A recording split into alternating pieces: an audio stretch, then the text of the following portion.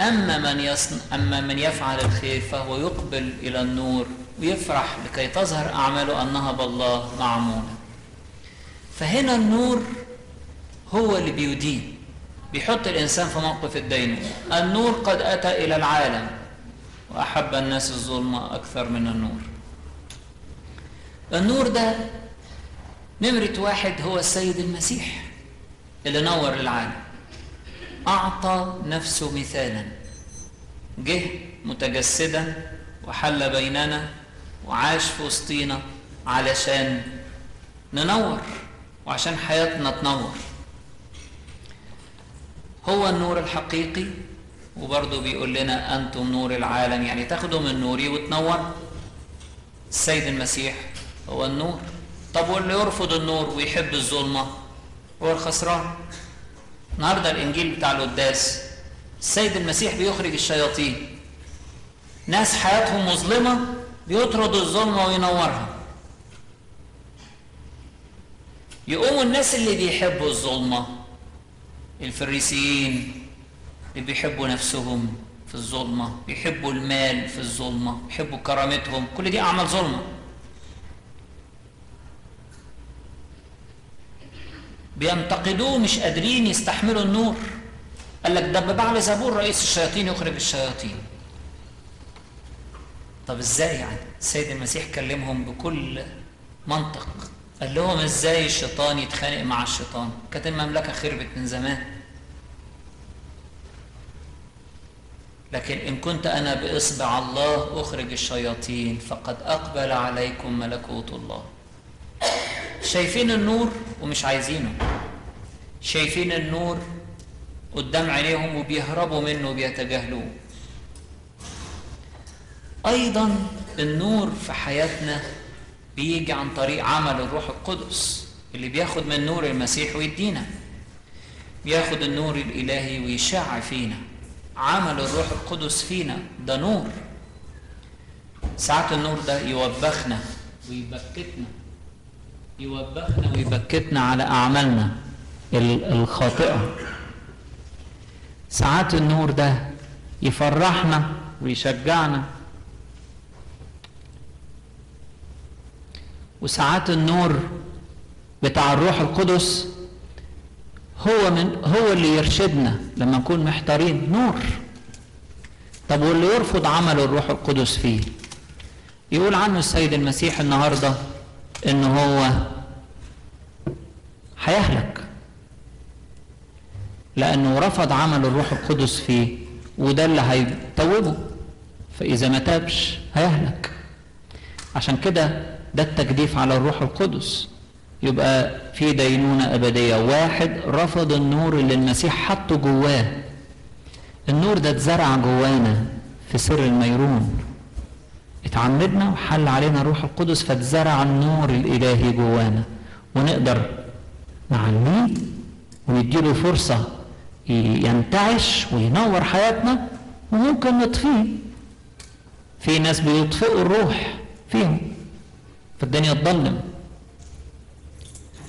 وبالتالي ما يبقاش ليهم توبة. من الروح القدس هو اللي بيحرك قلوب الناس للتوبة. فاللي بيرفض الروح القدس وبيجدف على الروح القدس وبيتجاهل النور بتاع الروح القدس يكون مستوجب دينونة أبدية. أيضا مش بس المسيح المتجسد نور وعمل الروح القدس فينا بينور لكن أيضا القديسين بينوروا. بنسميهم أنوار على الطريق. طول ما إحنا ماشيين في الطريق الروحي.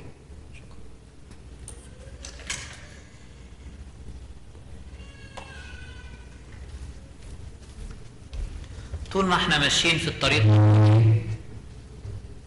الكنيسة بتحط لنا كده أنوار على الطريق. وأعظم نور موجود قدامنا هو الست العذراء اللي مش بس حملت النور لكن كانت مليانة بالنعمة مليانة بالنور. فالست العذراء زي ما قلت في الأول نموذج هنودان. في ضوء حياتها. كلنا مدعوين ان إحنا نبقى زيها. كلنا مدعوين ان إحنا ننور زيها. كلنا مدعوين؟ آه كلنا مدعوين. السيد المسيح لما بيقولوا له هو ذا أمك وإخوتك وقفون خارجا قال لهم يعني هو أنا بس ليا أم واحدة؟ وإخوات يعني كم؟ أربعة كانوا ولاد خالته. دول أسرتي وبس؟ لا. ده أنا جاي أضم البشرية كلها تبقى أسرتي. من يصنع مشيئة الله هو أخي وأختي وأمي. كلهم يبقوا أولادي ويبقوا أخواتي ويبقوا أمهاتي. كل الناس تدخل في العيلة الإلهية الجميلة دي.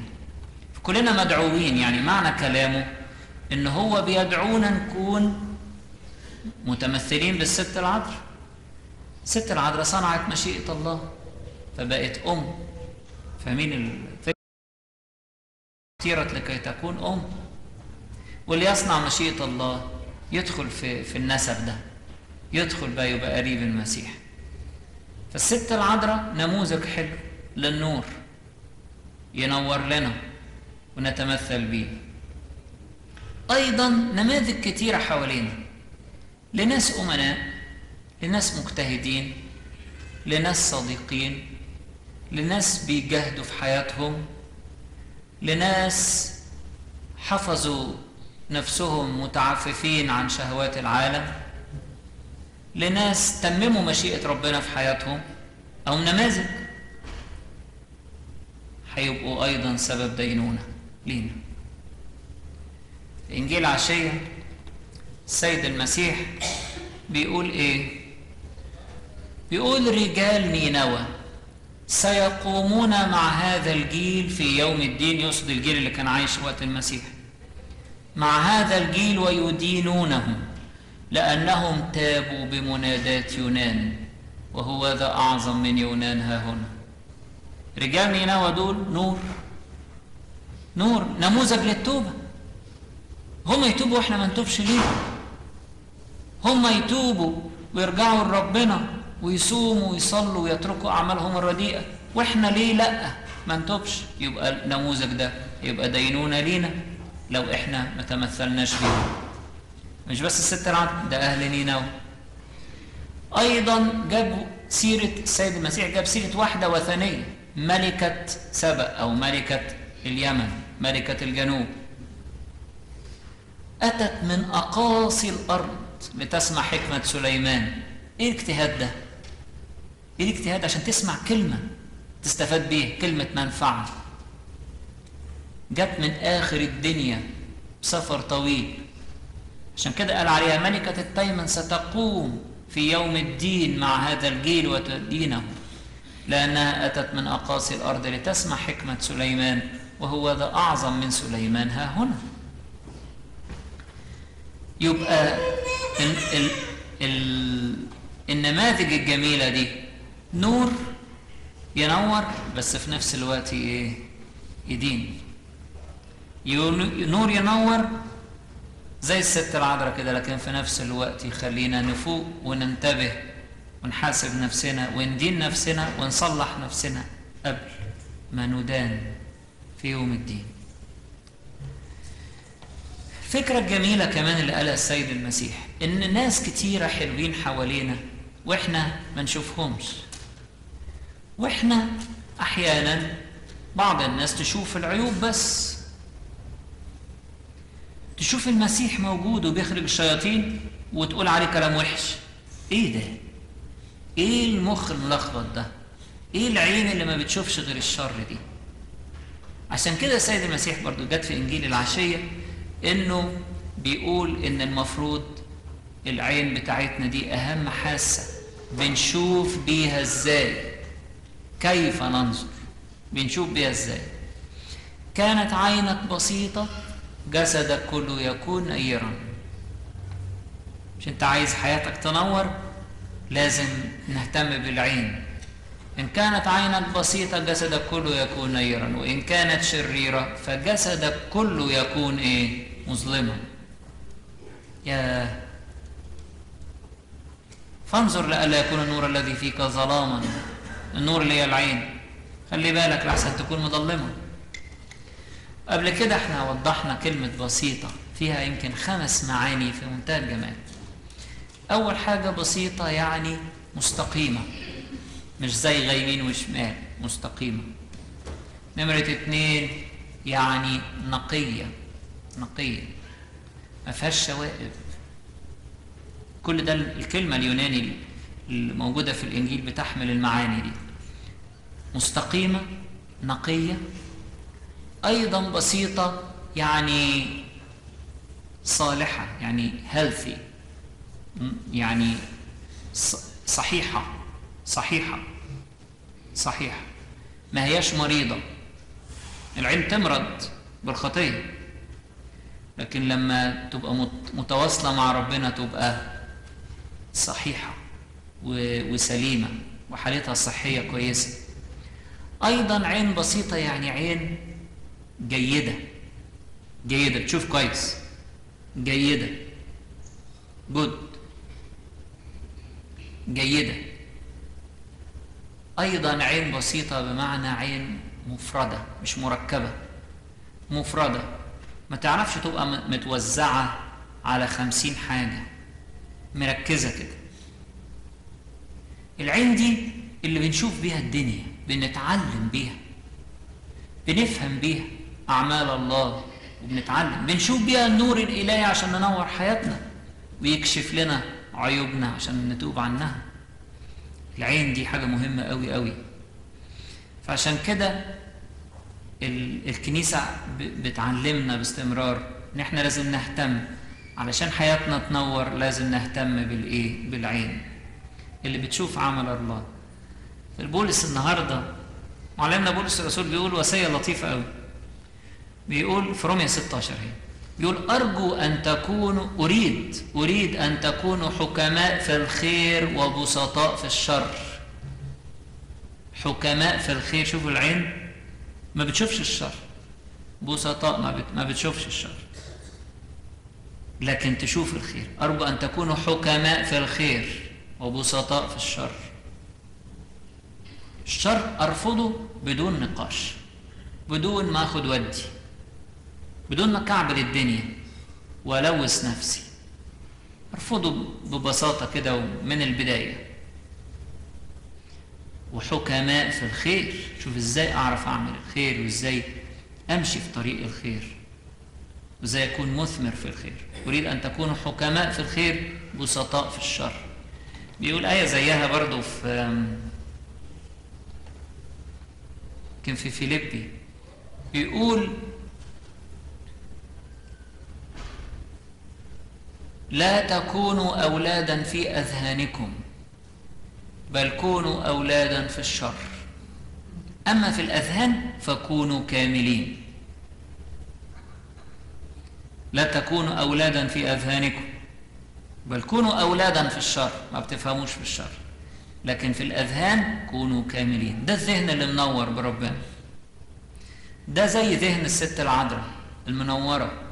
نور حكمة. طب في الشر؟ ما, ما, ما تفهمش في الشر. طفلة في الشر.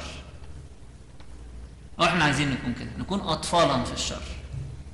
أما في الأذهان فكونوا كاملين.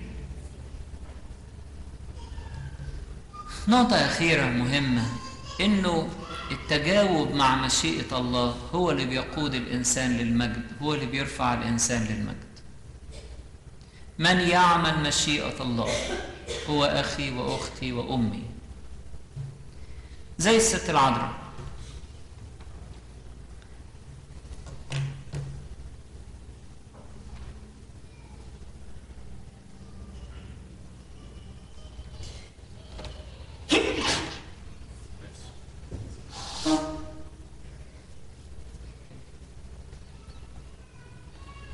زي الست العذراء كده وهي بتقول ليكن ليك قولك.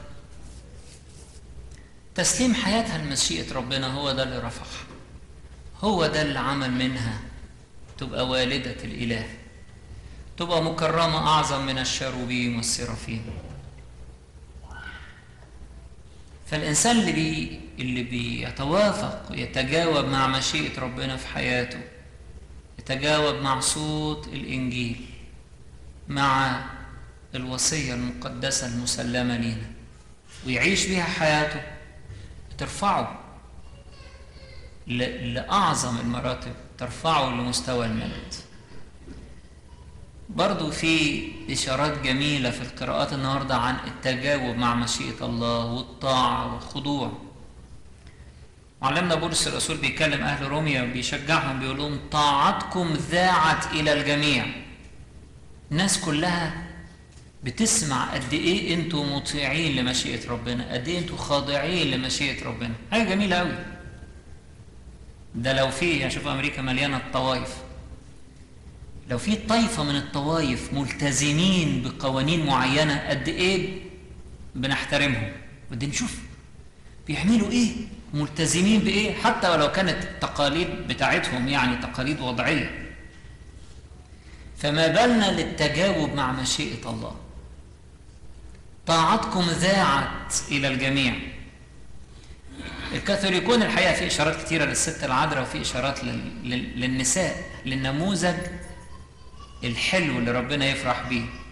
بس قبل ما بيتكلم على يوصف النموذج الحلو ده عمال يتكلم على الخضوع يقول كونوا خاضعين والنساء يخضعن لرجالهن.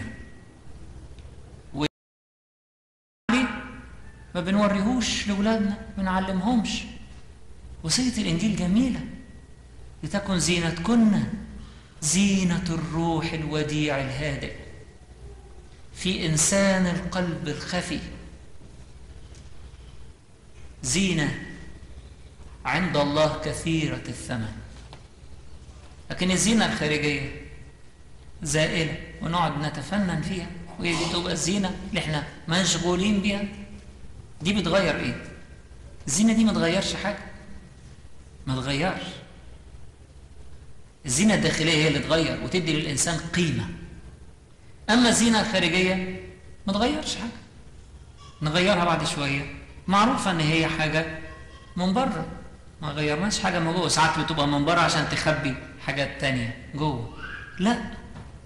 إحنا عايزين التغيير من جوه. كلمة ربنا تغيرنا من جوه. تغيروا عن شكلكم بتجديد أذهانكم.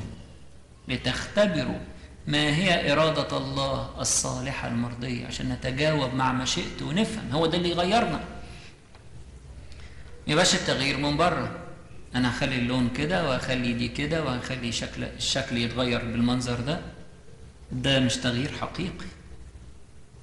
ده تغيير شكلي. مستوى تافه من التغيير. الست العذراء كانت من جوه بتنمو من جوه. من بره شكلها غلبانة ساكتة صبرة على اللي هي فيه. وما بتتكلمش ولا عمرها تفتخر بالمجد اللي هي فيه ولا إن هي والدة الإله خالص لكن من جوه مجد من جوه مجد. المزمور قال عنها كل مجد ابنة الملك من داخل. طب مفيش حاجة من بره؟ لا خالص. كل مجد ابنة الملك من داخل مشتملة بأطراف موشاة بالذهب. جوه ذهب زينة وذهب من جوه. ابنة الملك دي كل واحد فينا أنا وأنت كلنا. ولاد الملك الست العذراء دي النموذج الجميل ربنا حطه علشان نتعلم منه. عشان يبقى كل مجد ابنة الملك من داخل. لا تكن زينتكن الزينة الخارجية. مش هو ده اللي يفرح قلب ربنا لكن عايزين من جوه. وجوه ينضح على بره طهر اولا داخل الكأس حينئذ يتطهر الخارج.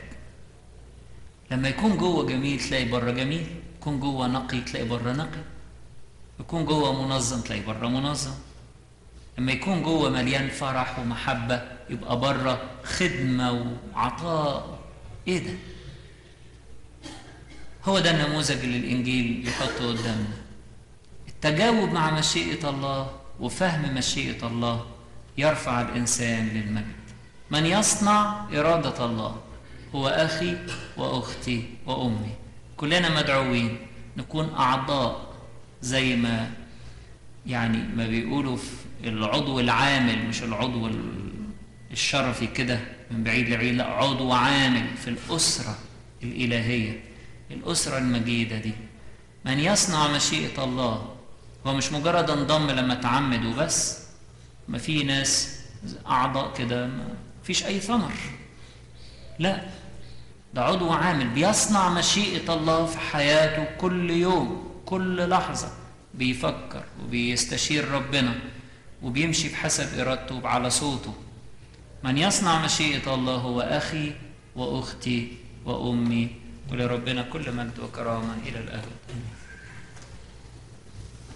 عايز أفكركم إن بالليل هيبقى فيه ليلة عيد العذراء العشية هنبتدي الساعة سبعة وفيها التمجيد والألحان والدورة ويبقى هيبقى معانا مباركنا قدس أبونا بافلوس وبكرة القداس من الساعة 8 ونص للساعة 11 قداس عيد العذراء والفطار يبقى بعدين و برضو عايز أفكركم إن ال Egyptian Festival يوم السبت الجاي من الساعة 10 الصبح لحد بالليل بيبقى احتفال جميل وفي ألعاب للأولاد وأكل وفرصة إنه ناس كتيرة من من البلد هنا يجوا يتعرفوا على الكنيسة.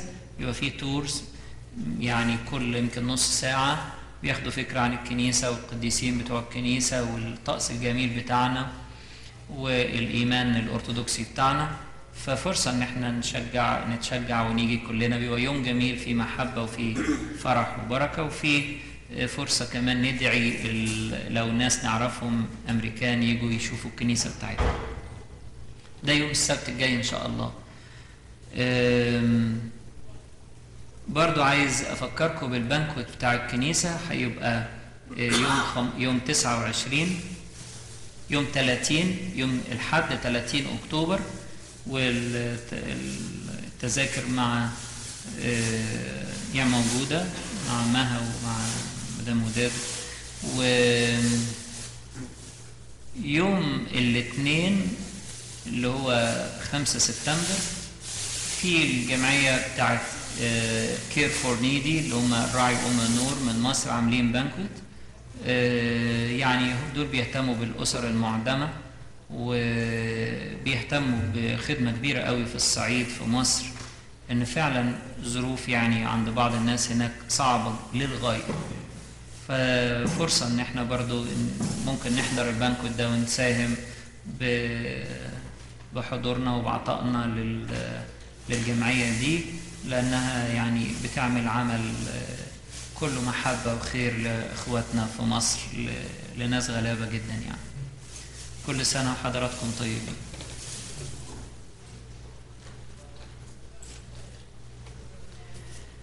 محبة الله الآب ونعمة الابن الوحيد ربنا وإلهنا ومخلصنا يسوع المسيح شركة وموهبة وعطية الروح القدس تكون معكم.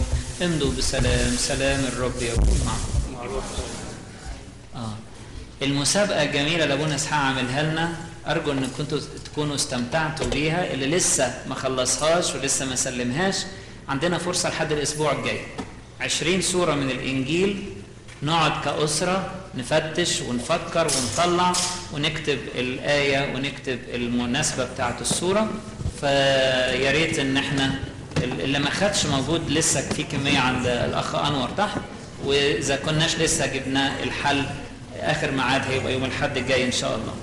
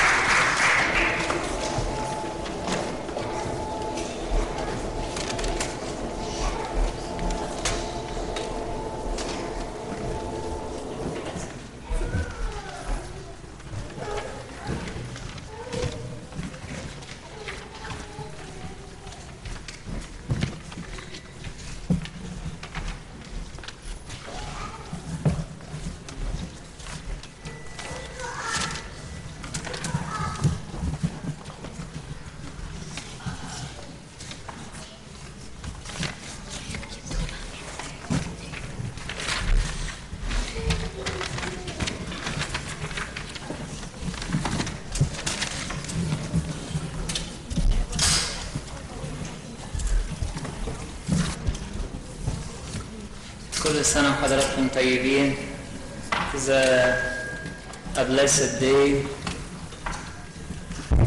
Saint Mary is our mother and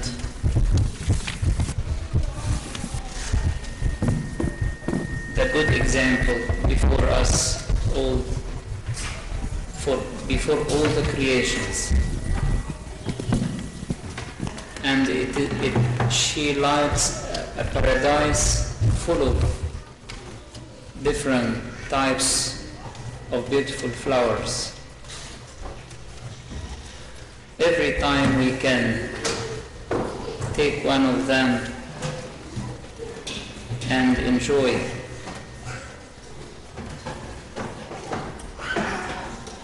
uh, the, the good smelling of it. Tonight we have our Father Reverend Abuna Pavlos. He will speak about the silence of Saint Mary.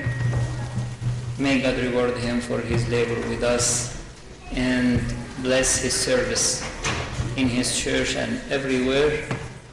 And may God give us to listen and to act with what we listen and be fruitful in our lives. And glory be to God forever.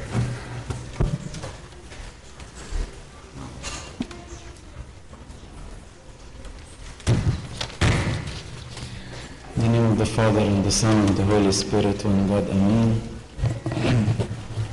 I'm very pleased to be here with you tonight and thank to Abuna Ishaq and Abuna Yohanna who gave me this great opportunity to celebrate the feast of Saint Mary in her church and uh, it's a great blessing for me to be among you and I appreciate the nice words of Otsabuna Yohanna and pray for me. So God bless the service of Abuna Ishaq and Abuna Yohanna for many years to come. We would like tonight to meditate on the virtue of Saint Mary of quietness and meditation, quietness and meditation. I'm gonna talk first in English and then we're gonna summarize everything again in Arabic afterwards. It was uh, the planning of God for the life of Saint Mary that uh, her parents got her after several years of not having children. And once she was young, they decided to uh, consecrate her to the temple. And she went to the temple, and uh, during the time, she was so young when she went to the temple, during the time when she was in the temple, her parents passed away. And during her life, as she was young and all the way until she received the messenger of God telling her that she would be pregnant with the word of God, she consecrated her life in meditation, in quietness, in prayer. And the only thing she was focused on was the love of God. She was all the time, I think, at the temple doing nothing but praising God, reading through the Word of God. And maybe we can notice that from her praise when she went to uh, visit St. Elizabeth. All her praise was taken from the Bible, from the Word of God, which tell us how she was close to the Word of God. And during her life, after the birth of Christ, we started to see that she was meditating in everything in her life. So, starting from the time of the birth of Christ, she started to see amazing things. She started as a young teenager girl to see that here are some shepherds coming to tell her that they have seen angels, that light appeared to them, and angels were praising God, and all of them saying, Glory be to the God in the heaven, peace on earth, and goodwill toward men. Even those uh, uh, wise men, they came all the way from the far east presenting, you know, presents and gifts to the young king, Jesus Christ.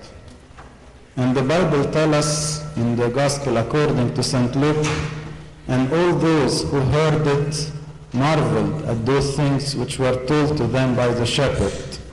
But Mary kept all the things and pondered them in her heart. She kept all what she saw in her heart. And again, it happened when the Lord Jesus was a young boy. When they took him to the temple, she went with Joseph, and as they were there in Jerusalem, the Lord disappeared. On their way back, Mary depended on Joseph, and Joseph depended on Mary that they have the Lord with them. And here they are, they couldn't find him. And after looking for him, they discovered that he was teaching some of the teachers in the temple. So she started telling the Lord, the young boy, Lord Jesus, didn't you know that I'm, where have you been? We have been worried about you. Didn't you know that I have been looking for you, me and your father? And he told her, didn't you know that I must be about my father business? And we hear again the same verse that we heard in the story of the Nativity, the same verse. It says what? And the mother, his mother, Saint Mary, kept all these things in her heart. Her mother kept all these things in her heart. She was listening and she was watching and she was seeing all this marvelous thing happening in front of her and meditating on it and learning from it. Even when she was at the cross, she was weeping and her heart was torn apart. And quietly, she didn't even open her mouth. The, the Bible doesn't tell us that she opened her mouth and said anything. Even when the Lord on the cross, he started to tell St. John, you take Mary as your mom, and he, t- told St. Mary, he will be your son, you go with him. She didn't open her mouth. She accepted, she was weeping, but again, she was meditating and she was quiet. And I'm sure she had in her mind this uh, great uh, verse that uh, Solomon said in the book of uh, Ecclesiastes. He said, Do not be rash with your mouth, and let not your heart utter anything hastily before God. The quiet Saint Mary teach us tonight a very important lesson. A lesson that we need to learn to meditate in everything around us. We need some quiet time. We need some time to be away from this busyness of this world. But some people will start to say, is ask the question, is every quietness and silence is a virtue and every talk and every way people keep talking is a sin? No, we cannot say that. But let's uh, try to see what is the, you know, the, the definition of quietness. His Holiness Pope Shenouda III talked about that in a very nice way. He said that God created for a man two ears, so one right and one left, so he can listen more than he talks. He created the ears for him always open, while the tongue, he created it closed behind the teeth. So there is some, you know, limitation on the tongue. So the tongue is supposed to talk less and the ears is, are supposed to listen more. And God created the two ears, one toward the right and the other one toward the left. So it's a symbol that the person should listen to one opinion and to listen to the other opinion. So always listen to more people and learn from more people. And since uh, the two ears and the mouth are between the head, and the head is what is the mind. So the mind should be directing what we listen to and what we hear to. Isaiah the prophet tells us a very nice verse about that subject in Isaiah chapter 30, verse 15. He says, For thus says the Lord the God, the Holy One of Israel, in returning and rest you shall be saved. In quietness and confidence shall be your strength, but you would not. It's very important that we have to remember that our salvation is depending on our quietness, on having this quiet time. So the person will, would go and come back to himself and start to see and go over his life, over his acts. And he started to think about what he's doing and ask himself different questions. What I'm doing here, where I'm going, how I'll be, I can be better. What happen if God take my soul today? Would I be ready and would I go to heaven or not? And this is what Satan is always fighting and preventing us from doing. That by keeping us all the time busy, all the time running, all the time in a circle that we can never go back and have this quiet time by ourselves. Remember the story of the prodigal son. The story, the parable tell us that when he found himself alone with those pigs and everybody of his evil friends left him, this is the time when he started to be quiet, to be meditating, and to think about where he is right now, where I am, what happened to me, how I was the great son in the house of my father who was having this blessed time, this loving heart of my father, and I lost everything and where I am right now. And when he came back to himself, this is the time when he, when he repented and when he started to say, I have to go back. I have to leave this evil life and go back to my father. And the time when he was able to get rid of this group of friends and to get rid of this evil life, he went back and he found the bosom of his father and the arms of his father waiting for him. Uh, the verse tells us of Isaiah the prophet, in quietness and confidence shall be your strength, but you would not. The quietness and the power, the strength that this verse is talking about is the power, the spiritual strength. If we go, for example, to the story of John the Baptist, John the Baptist has this great power in him he was able to move many, to move the hearts of many. And he was the messenger that God sent before him to prepare the way for him. And he did his job in a great manner. He, through his words and through his, you know, uh, zeal, he was able to move the hearts of those people, to let, bring them back and to repent. And if we think about John, we, we don't know that he was an expert or a knowledgeable person. Nobody told us that he was any like uh, philosopher like St. Paul, for example, or he was like a social figure like any of the great saints. he, his power or his strength came from what? From those years that he spent in the desert, alone with God, meditating with God, living with God. So the power of his strength came from what?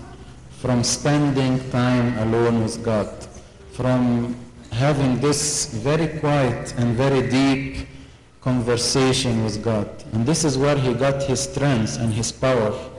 And the same was for many saints of our church. But as I said, this is what Satan is always fighting and uh, preventing us from doing. Every one of us will uh, be running all day long, and at the end of the day, we will think that maybe when I go home, I will have some quiet time. I will sit with God, with my Bible, maybe with my family to meditate and to spend some quiet time with God.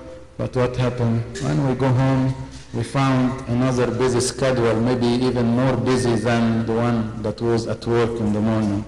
We find uh, lots of things to do, lots of distractions like uh, TV, like internet, like phones, like all kind of things that distract us from having this quiet time with God. But we have always to remember that this quiet time that is the source of our strength.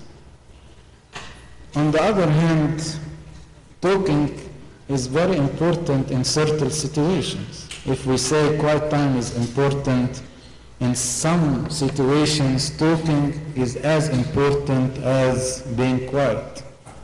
But when the word comes to a certain goal and to a certain reason, to be a word of consolation to somebody who is sad, for example, to be a word of advice for somebody who is deviating away from God, to be a witness for God in front of people who are maybe not aware of God and not and does not want even to hear about God.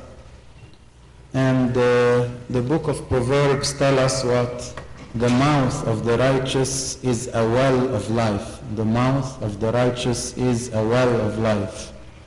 So as I said, as it is important to have this quiet time in a quiet manner, it is at the same level of importance to talk, but to talk with certain goal, not just to talk and to waste our time. Sometime, as I said, God will judge us that we are not talking, as I said, this way of talking that He expects us to talk, to open our mouths and to witness for Him. But on the other hand, the opposite, when the words come of our, out of our mouths as an energy just to talk for no reason, and uh, maybe this energy will be destroying the peace of others and destroying the spirit and the spiritual life of others, at this moment talking would be a sin. At this moment talking will be something that better to stay away. So it's very important to pray that God will give us the wisdom when to talk and when to keep silent. David the prophet said in Psalm uh, 51, he said, O Lord, open my lips, and my mouth shall show forth your praise. So, open God my mouth, and I can praise you. Praise you in my heart, praise you in the congregation between people, witness for you. And we hear about many, and the church history tell us about many of the saints who through quietness were able to meditate, to go in depth with God, and to be holy and righteous people in our church.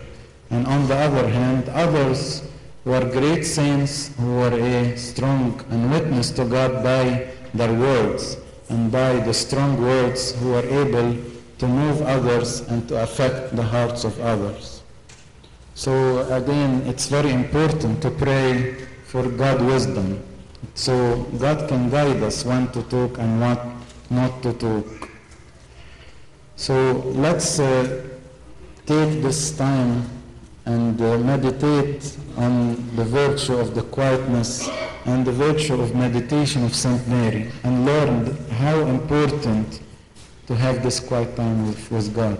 How important to go back to our self and maybe this quiet time can be a source for us to come back to God, to repent, and to start a new start if we have been far from God.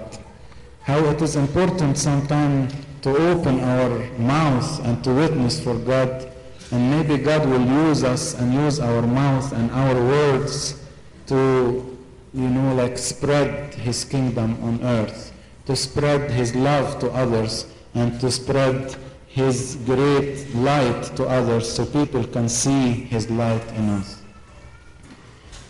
نحاول نلخص اللي قلناه بالعربي نتكلم النهارده على فضيلة الصمت والتأمل في حياة السيدة العذراء. السيدة العذراء من طفولتها وأبواها نظروها للهيكل. وفي أثناء طفولتها تنيح أبواها وهي قضت كل حياتها لغاية ما جات لها بشارة الملاك وهي في الهيكل قضت كل حياتها في الهيكل. كانت في الهيكل في حياة وحدة وصمت وكانت منشغلة بالصلاة والتأمل. ويمكن وهي صغيرة فقدت حنان أبويها لكن انشغلت بمحبة ربنا وحست فيه بكل الأبوة والحنية. وعكفت على الصلاة طول حياتها. في الفترة الصغيرة وهي صغيرة لغاية لما جات لها البشارة زي ما قلنا. كانت تصلي كانت تسبح كانت تقرأ الكتاب المقدس. ويمكن أقرأ أكبر إثبات على يعني عمق علاقتها بالكتاب المقدس كانت تسبيحتها لأليصابات لما راحت تقابل أليصابات ونلاقيها إن كلمات كتير من التسبيحة بتاعتها كانت مأخوذة منين؟ من الكتاب المقدس. وده يبين لنا قد إيه كانت الفترة بتاعت الهدوء والصمت والتأمل دي كان ليها تأثير في عليها من من صغرها يعني. ولما حبلت بالسيد المسيح وأثناء قصة الميلاد نلاقيها ابتدت يعني تشوف حاجات عجيبة. يعني واحدة كده في سن المراهقة تلاقي مثلا جاي لها الرعاة وبيقولوا لها ده إحنا شفنا ملائكة وشفنا نور عظيم من السماء وشفنا ملائكة بيبشرونا بميلاد المخلص في مدينة داوود وبيقولوا المجد لله في الأعالي والأرض السلام وبالناس المسرة. آه يقول الكتاب كده إنها يعني كل الذين سمعوا تعجبوا مما قيل لهم من الرعاة في إنجيل لوقا. وأما مريم فكانت تحفظ جميع هذه هذا الكلام متفكرة به في قلبها كانت كل حاجة تشوفها تحطها كده جوه قلبها وبكل هدوء تاخدها كنقطة تأمل في علاقتها مع ربنا. ومرة تانية نقرأ عن في شخصية السيدة العذراء الهادية إنها لما كان السيد المسيح صبي وذهبت لأورشليم في عيد الفصح مع يوسف يقول كده في طريق عودتهم إن هي اعتمدت على يوسف ويوسف اعتمد عليها إن الايه الصبي يسوع يبقى معاها وبعد شوية اكتشفوا إن هو ولا معاه ولا معاه. فراح فين؟ رجعوا قعدوا يدوروا عليه فترة فين؟ لغاية لما لقوه ولقوه فين؟ في وسط الهيكل عمال يعلم المعلمين وإيه؟ معلمين اليهود. فكانت منزعجة جدا وقالت له أنت فين؟ رحت فين؟ ده إحنا قلقانين وكنا مضطربين عليك. فرد عليها السيد المسيح وقال لها ألم تعلم أنه ينبغي أن أكون فيما لأبي؟ طبعا طفل صغير في السن ده يقول كلام زي ده ويكون بيعلم المعلمين. طبعا دي حاجة يعني برضو يعني مش سهلة إنها إيه تفهمها. ولكن برضو يقول الكتاب نفس الآية اللي سمعناها في قصة الميلاد يقول إيه؟ وكانت أمه تحفظ جميع هذه الأمور في قلبها كانت تاخد كل حاجة وتشيلها جوه قلبها. ما تقعدش تتكلم كتير ما تقعدش تحاول تمدح في نفسها ولا تمدح في ابنها ولا ولا. لكن كانت تاخد من ده درس ليها للإيه؟ التأمل وللبنيان. ونلاقي برضو نفس الموضوع يحصل في في أثناء الصلب لما كانت واقفة بتشوف السيد المسيح بيتألم وبيصلب كان أكيد قلبها بيتقطع من الحزن ومن الألم ولكن كان كل ده في صمت وما نسمعش إنها اتكلمت ولا قالت أي حاجة. حتى إن لما السيد المسيح أوصى يوحنا وقال له خذ هذه أمك وقال له يوحنا هذا هو ابنك ما برضو ما اتكلمتش ولا فتحت بقها. سمعت الكلام وخدت بعضها كده وراحت معاه في بيته على بيت يوحنا. وأكيد كانت بتتعلم كتير من الكتاب المقدس زي قول الحكيم في سفر الجامعة لما قال إيه؟ لا تستعجل فمك ولا يسرع قلبك إلى نطق كلام قدام الله. لا يسرع قلبك إلى نطق كلام قدام الله. فعشان كده العذراء المتأملة الهادئة دي بتعلمنا درس مهم إن التأمل والهدوء ده حاجة مهمة جدا في حياتنا. ويمكن ناس كتير يحبوا الهدوء والصمت لكن ده يخلينا نسأل هل الكلام يعتبر خطية؟ وهل كل صمت يعتبر فضيلة؟ ده يخلينا ناس نحاول نشوف إيه تعريف الايه الصمت. أحد قديسين الكنيسة اسمه القديس بورسونوفيوس بيقول كده الصمت من أجل الله جيد والكلام من أجل الله جيد. من أجلك يا رب نصمت ومن أجلك نتكلم. يعني صمتنا لما يكون عشان ربنا يبقى حلو قوي ربنا يفرح بيه. وكلامنا برضو لما يكون عشان تمجيد اسم ربنا برضو ربنا يفرح بيه. وزي ما قلنا برضو قداسة البابا شنودة يقول إيه؟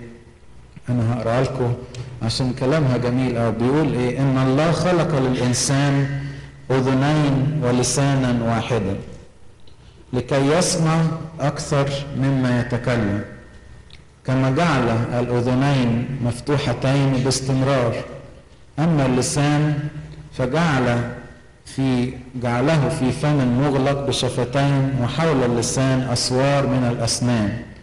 كل ذلك لكي يستمع أكثر مما يتكلم. وقد جعل الله الأذنين كل منهما في اتجاه الواحدة منهما في اليمين والأخرى في اليسار. لكي من الناحية الرمزية يستمع الإنسان إلى الرأي وإلى الرأي الآخر. وبين الأذنين توجد الرأس ترمز إلى العقل والفكر للحكم بين الرأي والرأي الآخر.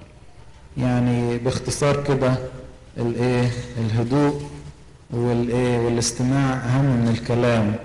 وحتى لما يبقى في كلام مهم ان إحنا إيه بحكمة يطلع الكلام ده عشان يكون إيه مملح ويكون الواحد يستمع للآخرين ويتعلم من الآخرين. اشعياء النبي بيقول لنا آية حلوة في اشعياء 30 يقول كده لأنه هكذا قال الرب قدوس إسرائيل بالرجوع والسكون تخلصون بالهدوء والطمأنينة تكون قوتكم فلم تشاءوا.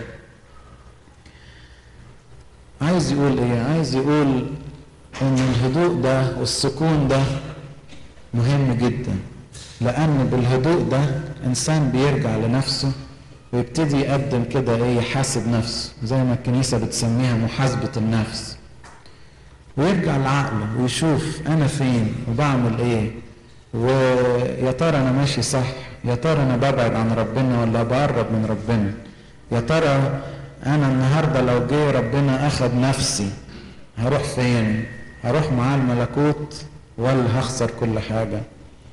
والشيطان طبعا بيحاول بكل الطرق إن يمنعنا من القعدة دي لأن عارف إن إحنا من الايه من الوقت اللي إحنا هنقعد ونهدى هنرجع لإيه؟ لربنا وهنقدم توبة ونرجع لأحضان ربنا. فعشان كده دايما يخلي الإنسان في إيه؟ في الطاحونة. عمال يجري مفيش هدنة مفيش هدوء مفيش أي سكون. ولعل القصة بتاعة المثل بتاع الابن الضال اللي قاله السيد المسيح أقوى مثال على كده. إن الابن الضال بعد ما خسر كل حاجة وبعد ما تركوا أصدقاء السوء ولقى نفسه وسط مرمي وسط الخنازير وعم ياكل من أكل الخنازير بعد ما كان ابن مدلل في بيت عظيم بتاع أبيه. يقول لك كده في الوقت ده وفي السكون ده ابتدى إيه؟ ابتدى يرجع لنفسه. رجع إلى نفسه. وابتدى إيه؟ يفكر أنا إيه اللي حصل لي ده؟ ده أنا كنت فين وبقيت فين دلوقتي؟ طيب وبعدين قال لك إيه أنا أحسن حاجة أقوم الآن وأرجع إلى ابي وأقول له أخطأت يا أبتاه وقدامك ولست مستحقا أن أوضع لك ابنا وبالفعل أول ما قرر ورجع لقى مين لا ابوه مستنيه لا أحضن ابوه مستنياه وده اللي بيحصل أن دايما رب ربنا واقف ومستنينا وأحضانه مفتوحة لينا وبيحب دايما إن إحنا بس نقول إيه اقوم الآن وأرجع إلى أبي. ويقول أباء الكنيسة اهدأ يا ابني قبل أن تهدأ رغما عنك بما معناه هذا. يعني إيه؟ يعني أنت اهدى وارجع لإيه؟ لخلاصك ولعقلك ولأبديتك قبل ما تهدى غصب عنك وتموت. لأن الإنسان هيهدى غصب عنه إمتى؟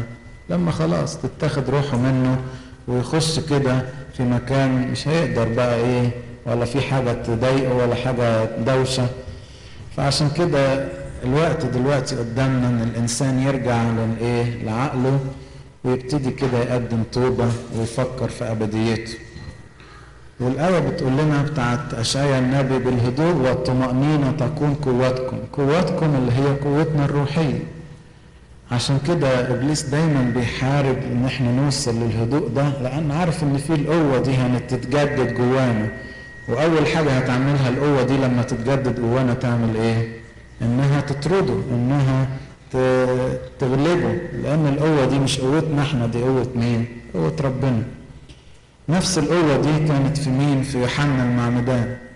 يوحنا لما السيد المسيح أعده عشان يكون يعد الطريق قدامه دخل بكل قوة وكل مجاهرة هيكلم الناس ويحرك قلوبهم ويحرك يعني جواهم التوبة ويعدهم للإيه؟ لقبول المخلص. وفعلا عمل شغلانته دي بأحسن وسيلة. طب هو كان إنسان يعني علامة؟ لا ما كانش إنسان علامة. كان إنسان اجتماعي وكان ليه يعني مثلا مركز اجتماعي في وسط الناس لا ولا كان كل قوته دي اكتسبها منين؟ من السنين اللي قضاها في البرية قبل إيه ما يبتدي خدمته. قضاها كلها في خلوة مع ربنا وكانت السنين دي هي سبب القوة وسبب إن هو كان إيه خد يعني إيه شحنة كويسة من مين؟ من ربنا. اديته كل الإيه الجرأة وكل الغيرة دي اللي عدوا بيها الطريق قدام السيد المسيح. فمهم جدا إن إحنا نستفيد من موضوع الهدوء والسكينة ده ومحاسبة النفس. آه من الناحية التانية بقى الكلام. هل طيب كل الكلام ربنا ما يحبش نتكلم كتير؟ لا بالعكس. ربنا يحب إن الكلام بتاعنا يكون في وقت يكون كلام فيه منفعة لينا ولغيرنا. يكون كلام فيه تعزية لنفس حزينة يكون كلام فيه نصح لنفس بعيدة عن ربنا وتحذير يكون كلام فيه شهادة لربنا وسط ناس ما بيعرفوش ربنا يكون شهادة لإيه؟ لملكوت الله والإعداد للنفوس لاستقبال ربنا. ويكون الكلام بتاعنا زي ما قال سليمان الحكيم في سفر الأمثال فم الصديق ينبوع حياة فم الصديق ينبوع حياة الإنسان القريب من ربنا تلاقي كلامه كله كله حياة كله بركة كله نعمة. لأن فيه الحياة غير الكلام اللي تلاقيه مصدره فيه إيه؟ موت فيه شر فيه يعني إيه؟ رواية إبليس. وعشان كده لو الواحد ما تكلمش الكلام دوت اللي هو ربنا عايز يكلمه زي ما قلنا في الأوقات دي اللي هو كله حياة هيدان. إن ربنا كان منتظر إنه يشهد ليه في الموقف الفلاني ولا يكون السفير بتاعه في المكان الفلاني وهو ما عملش كده. ربنا هيقول له أنا كنت منتظر إن أنت تشهد لي منتظر إن أنت إيه تحاول تعمل حاجة في الوسط الإيه الوسط اللي أنت فيه أو أو. فامتى نتكلم وامتى نصمت دي محتاجة إيه؟ محتاجة حكمة. ومين هيدينا الحكمة دي غير ربنا؟ فنصلي ونقول له يا رب خلي كلامنا مملح. أو زي ما قال داود النبي في مزمور 51 افتح يا رب شفتاي فيخبر فمي بتسبيحتك. افتح انت شفتاي وإيه خلي كلامي كله يكون لتمجيد اسمك القدوس. وياما قديسين في الكنيسة كان كلامهم يعني له أثر كبير جدا. وآخرين كان سكوتهم وإيه وصمتهم ليه برضه دروس كتيرة جدا. قديس أرسانيوس معلم أولاد الملوك يقول إيه تكلمت كثيرا فندمت أما عن سكوتي فلم أندم قط. ونلاقي ناس شهدت لربنا بكلامها زي أباء الكنيسة اللي كانوا بيدافعوا عن الإيمان زي مثلا أثناسيوس الرسولي زي القديس كورلوس عمود الدين دول كان كلامهم يعني إيه؟ سند الإيمان وحافظ على إيمان الكنيسة في وسط إيه؟ وقت كان كله هرطقات. طب مين أحسن؟ الاثنين مهمين والاثنين حلوين. لكن ربنا هو اللي إيه؟ بيدي الإنسان حكمة إمتى يتكلم وإمتى يصمت. عشان كده النهارده مهم جدا إن إحنا نتعلم من الست العذراء إن إحنا نتعلم الهدوء في وقت ومحاسبة النفس في وقت. والكلام والشهادة لربنا في وقت آخر. نصلي إن ربنا يدينا الحكمة إمتى نصمت وإمتى نحاسب نفسنا وإمتى في الوقت التاني نتكلم ونشهد له ويكون كده يدينا كلمة تعزينا وتعزي من حولنا وإلهنا المجد الدائم الأبدين آمين. وكل سنة وأنت طيب